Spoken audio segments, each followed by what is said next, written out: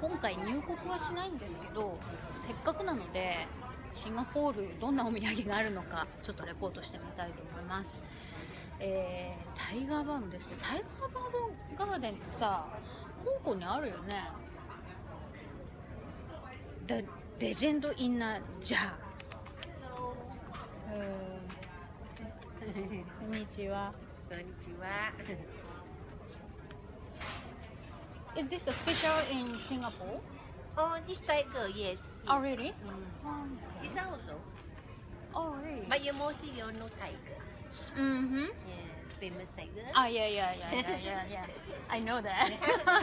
Thank you. ということで、まあいろいろこういう難航はあるんだけれども、まあメジャーなのはタイガーよねっていうふうに言われました。ガオ。はい。続きまして、続きまして、今ね、あの、あれなんですよ。暑いの。あのね、室内でエアコン効いてるはずなんですけど、外が31度なんですって。シンガポールね、暑いですね。だけどやっぱりこう、寒すぎないように、若干こう高めに多分ね、こういったモール、モールというか、ターミナルの中も空調設定されてるんだと思うんですけど、あったかいところっていうと、やっぱりこういうね、南国フルーツの、あの、スイーツ？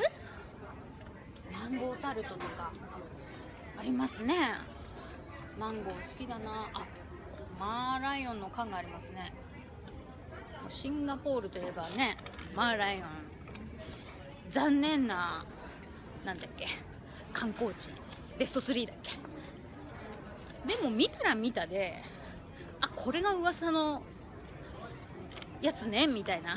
感激はありますよね多分ね。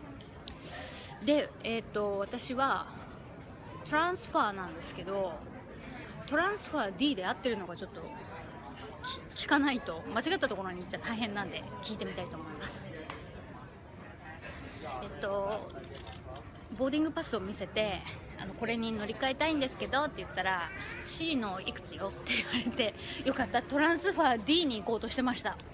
危ない危ない。一人ですからね。大変ですよ。あそう一人なんですよ。あのそう目的地までね。